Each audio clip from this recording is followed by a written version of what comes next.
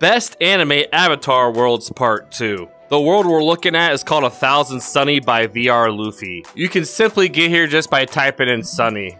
Once you get to the Sunny, you're to click on this box that says avatars right here. Once you're inside, you shouldn't worry about getting lost. Unless if you're wearing a Zoro avatar. You're gonna notice once you get in here that most of the avatars are filtered by ARC or Pirate Crew. I happen to know the creator of this world and he's constantly updating this world all the time.